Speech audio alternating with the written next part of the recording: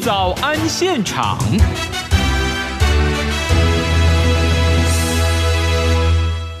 这里是中央广播电台台湾之音，您所收听的节目是《早安台湾》，现在时间早晨的七点三十七分三十秒，我是夏志平。大家早安，我是张婉如。哎，婉如，我最近哦，这看到很多报纸哦，这个奇怪了，这个很多朋友就跟我反映说，哦，他们支持的这个候选人哦，哦，怎么？民调落后这么多啊，然后呃，也有人跟我说，奇怪，为什么他所看到的都是他不想看的选举话题？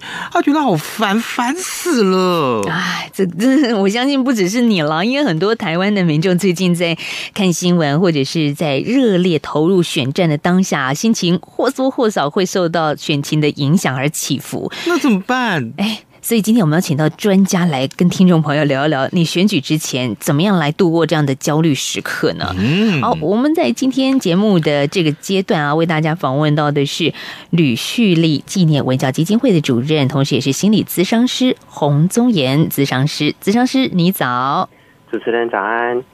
好，咨商师啊，这个你是不是也跟志平一样看到很多选举新闻呢？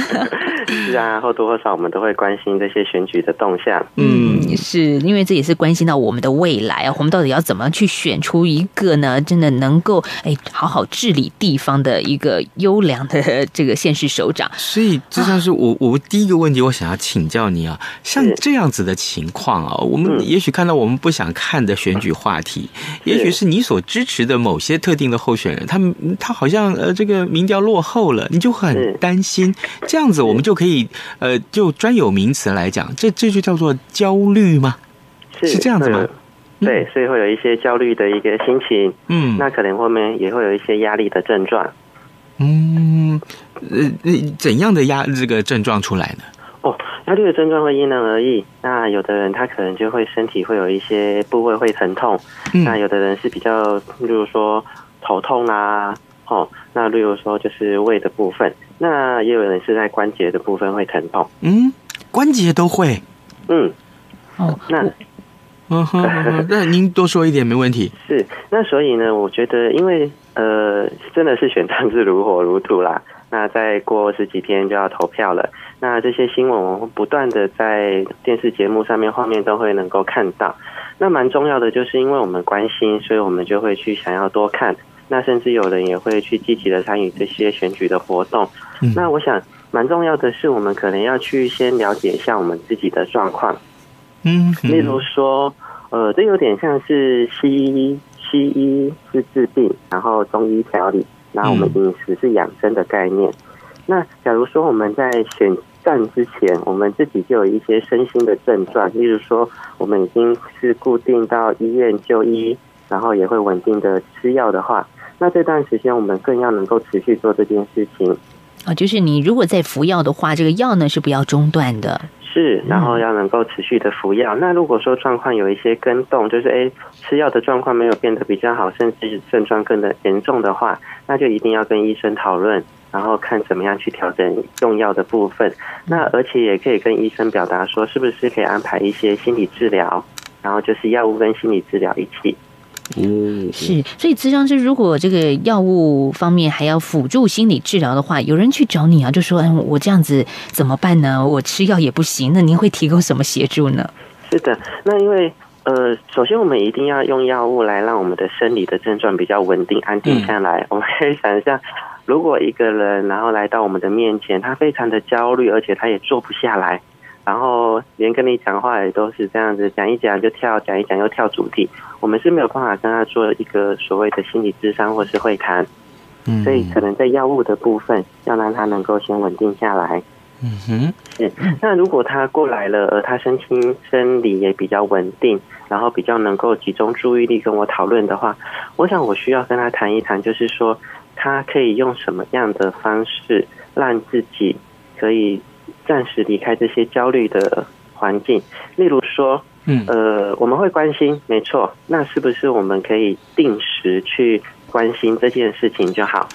哦，你的意思是说，呃，从前也许我们呃二十四小时都盯着电视看，呃，或者是拿着这个呃上网去看这些相关的讯息。那现在我们就给自己一个时间的限制，比如说呃，只有这个吃饭前的一点点时间，或者是午午午睡睡醒了之后，或者晚上睡觉之前，我们再稍微看一点点就好了。这样子有助于把整个症状减缓或减轻，对不对？是的。这就有点像我们失恋的时候哈，我们可能会一天二十四小时醒着的时候，或没工作没事就会想到，嗯，对，但也不能说让就是跟他说你都不要想，因为这也不可能。那我们就可以跟他说，呃，那你可以，你想要一天想几次？那你想要在早上几点想，中午几点想，晚上几点想？那我们会建议不要在吃饭。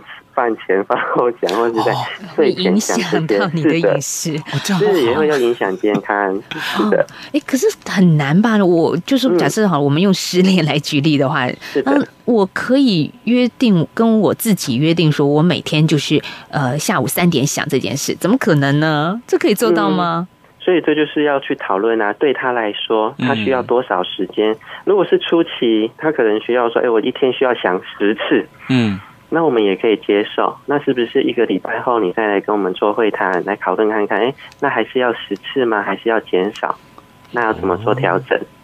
嗯，那我我我很好奇，说人的心真的可以这么样的切割吗？我我想十次，我就跟你约定十次，这么客观的量化，对呀。所以这个就是做讨论啊，就是要讨论出一个对方，就是我们来谈的人，他觉得他能够做到的。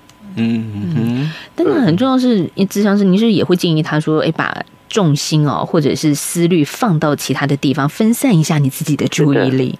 是，这蛮重要的，不然就是，要不然就变成是我们只要是有空没有特别的事情的时候，就是一直关心这些事情，才会一直影响我们的心情。是。可是现在我们看到这个选战逼近到最后了啊，那这个呃电子媒体这个呃呃有线电视打开来，这些新闻频道几乎是二十四小时，每一个每一节新闻通通都是选举新闻啊，那怎么办？干脆不要看吗？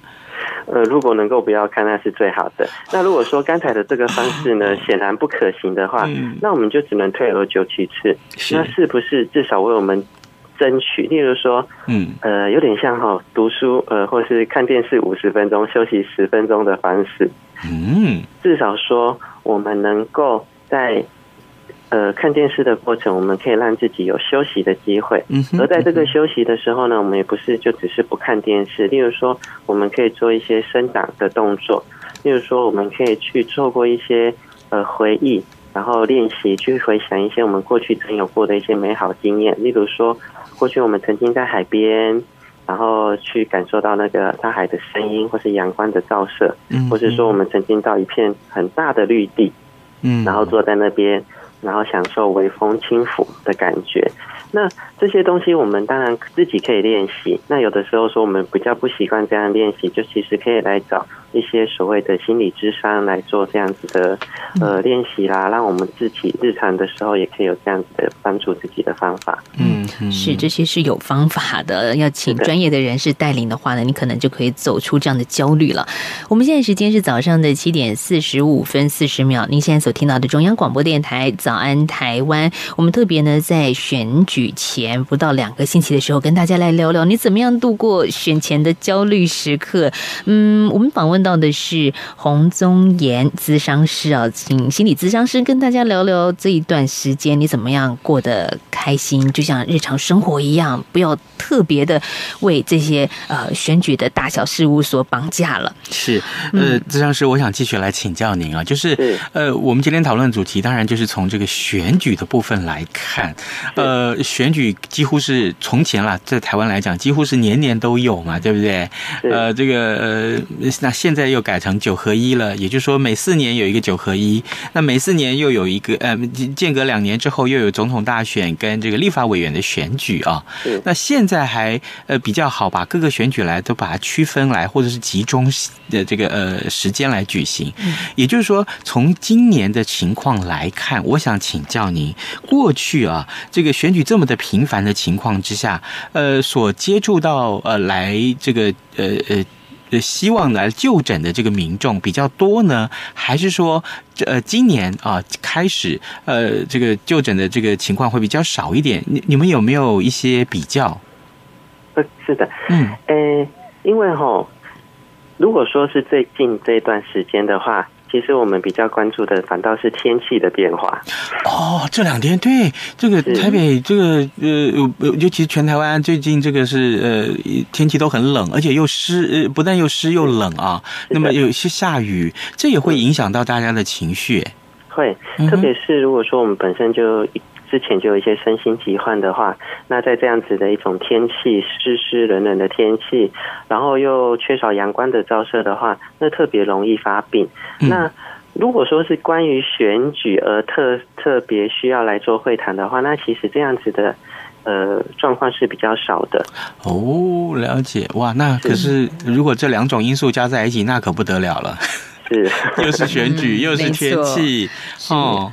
我我选举之前其实有很多造势的活动啊，这些场子每次呢，这个电视画面一看到，哇，就是非常的激情，对，一大片热情支持的选民啊，我都蛮好奇，说像特别好了，选前之夜，选前的最后一个时刻，这些人去参加完之后啊，回到家，明天就要投票了，然后隔天就开票了，哦，那个心情真的像喜三温暖啊，是，所以。呃，这样子的一个造势活动啊，我我不不了不知道主持人有没有参加过了哈。嗯。但是参加完造势活动是一个很热烈，然后大家在那边上激情，有点像演唱会的过程。是，而且那个主持人非常会带动大家的情绪，有的时候高亢，有的时候呢是感性，对不对？是，就像您刚才说的，就像在喜山温暖一样。对呀。是。那如果说我们本身的状况如果还可以的话，那回家我们当然自己的心情会有一个转换跟调试。那比较担心的就是，因为我们身心本来就有一些症状的时候，就在这个时候容易被引起。那焦虑的症状其实就是我们的身心不容易恢复到稳定。嗯，我们可能呃一般的来说都可以呃很嗨的时候很嗨，然后过一段时间就沉静下来，然后它是有一个循环周期。但是焦虑的这个症状是它没有办法回到比较平静的状态，所以。呃，你要说啊，我们知道我们有这样的状况，是不是我们就减少或避免去参加这样子的场合？这是有可能的。嗯哼，但前提是我自己有没有觉得这是一件严重或不该去做的事情？这有点像是说，我们自己可能像有的人他自己有糖尿病、高血压，那他也在就诊，也在服药，但是他能不能够自己去克制自己？嗯，不要去吃一些他不该吃的食物，就是要吃清淡一些。嗯哼。了解，好，它这个还有一个这个呃层面，也许是我们比较少关心到的，就是因为选举啊，呃，每天我们这样在看电视上，或者是这个媒体上面，或者说是这个网络上面这些讯息的时候，其实难免会跟朋友或是跟家人一起讨论嘛，对不对？那来这个呃呃找这个呃呃洪先生您的这个呃患者们啊，他们会不会有这样的一个？呃，症状的叙述就是说，哎呀，怎么办？我因为选举啊，我跟着我的家人关系变得不好，因为我们所支持的人不一样，或者说，哎呀，这个我跟我朋友翻脸了，怎么办？我们很好的朋友啊，怎么会为了这样一个 一个情况，因为支持的人不一样，所以我们呃，这个呃就翻脸了。像像遇到这种情况的时候，您听到的多不多？或者您怎么去劝他？是，哎，我们都很清楚哈，就是宗教跟政治这两件事情哈，是不太能够去改变意向的。嗯，我们也会很清楚，跟我们的朋友或者跟家人在谈这件事情的时候，需要格外的小心。嗯，那我们的确也会遇到一些，就是说啊，我我是支持某一个政党，或者我比较支持某一个候选人，那他的确也会发生所谓的家庭革命。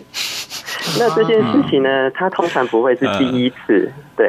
啊，因为他可能在在成长的过程中，他们就知道，哎，例如说孩子就知道父母亲他们的呃他们的意向啊，他们比较偏哪一个党派的候选人，嗯，那孩子他在成长的过程，他也会去吸收这些知识，说那我比较支持哪一个党派，嗯，那这就会发生在说，那孩子怎么样去面对这样的状况？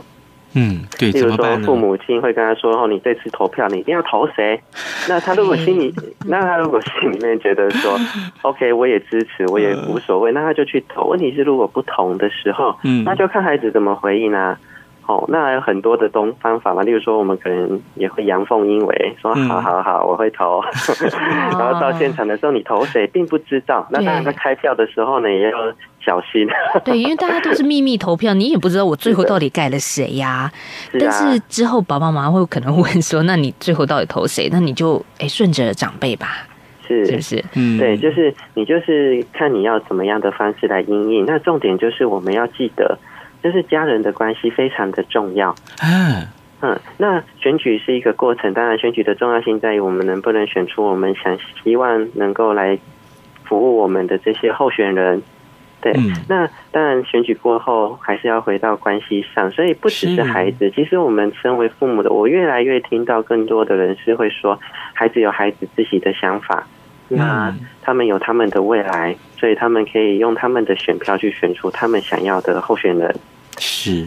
真的，所以，所以我一直在告诉我身边的朋友，就是说，呃，当然，你你支持什么人，或者是你自己有什么样的想法，不管是在政治或者是宗教上面啊，你你各各自有什么想法，其实那都是非常 personal、非常私人的啊。呃，我我更常常告诉大家说，呃，你知道吗？你在这个选举投票的时候，你那个印章啊盖在那个呃选票上面的时候，我我想请教你，你有没有听到那个声音？那个那个分贝是几分贝啊？我我都这样去问人家哎，那每个每个人就都跟我说哪有声音？不会有声音啊，都很安静啊。印章盖下去怎么会有声音？对不对？我说对喽，这不就是你的力量吗？你盖下去盖谁？呃，印章选票盖给谁？就是这个呃力量是非常庞大，但是声音是非常微弱的啊。就是也也就是说，民主就是要告诉你，你你不必。大声喊叫，你真的不可以不用大声喊叫。那支持谁就在心里面放在心里面就好了。我觉得，嗯，这个很重要。是啊，有的时候真的也不用太坚持去说服别人听你的。哎，我我觉得支持什么政党，就就让大家自己去决定吧。我觉得经常可以看到有些人就是真的面红耳赤啊，何必呢？是啊，所以这个我想不只是选举啦，就是会有很多大大小小的事情都会让我们热衷。那这也是我们生活的一部分，嗯，可能像包含了，例如说每四年就有一次世界足球赛啦，哦，我支持哪一国，他支持哪一个哪一个球队啦，哦，或者是说 NBA，我们都会关心这些，因为现在世界越来越小，所以这些事情我们都跟我们切身相关。嗯，那在面对这些事情的时候，其实我我会相信我们每一个。呃，生活在台湾的人民都有自己照顾自己跟修复自己的能力。嗯，那面对这些状况，其实都是一波一波、一次一次，我们都在面对，而且也在这样的过程里面，我们越来越有那个能力，能够去面对它，然后去调试自己。嗯，面对他调试自己真的很重要。哦，我们在今天节目访问到的是洪宗岩心理咨商师，也谢谢咨商师呢在选前给我们上的这一课。好，谢谢您，谢谢，谢谢。